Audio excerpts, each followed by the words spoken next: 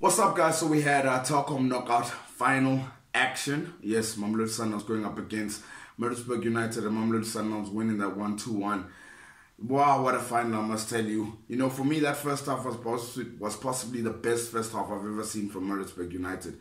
They were so good. They were so good. Tactics were on point from Eric Tinkler. They cancelled out Mamelodi Sundowns. Cancelled out for me throughout the first half. I think maybe you could say the penalty on Lebusa probably should have been a penalty. But besides that, they cancelled them out and they were playing on the counter. And the game went the way you would have thought it would have gone. Sundowns would have had all the ball and they were playing on the counter. And then one long ball from Richard Ofori and Judas Moseamedi pounces, pounces. And Lebusa could have dealt with that. 1 0 to them.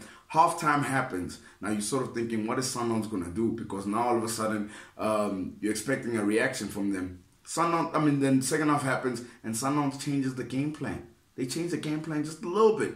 What they did was there was more long balls within the game. There was more long balls that they added to the game, more crosses that was added to the game, and as well as there was corners as well. And guess what that resulted into?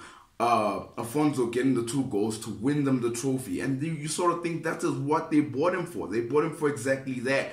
To, to to to be a target man. And just like Peter said what you see is what you get. And I must tell you one thing man. If there's one team you don't want to go behind to it's Mamelodi Sundowns. Because that team knows how to manage games. And when they brought up Affonso you could just tell that okay and Magaloa came on you just thought okay now they're going to manage the game. And they managed it very well.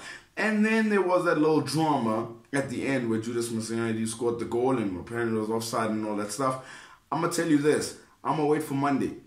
I'm gonna wait for Monday and let's see what Mr. Spot On says. For me, I, I, I just can't. I, I, I don't want to really get involved in this one. I'll wait and see and see the, the angles and everything because that's what they do on Mondays. But besides that, the one thing I'll take away from this game is the fact that Mamelodi Sundowns were able to alter their game just a little bit and it got them the trophy. Big ups to them. Big ups to Pitso, coaching staff, Pitso Another trophy on the honors list.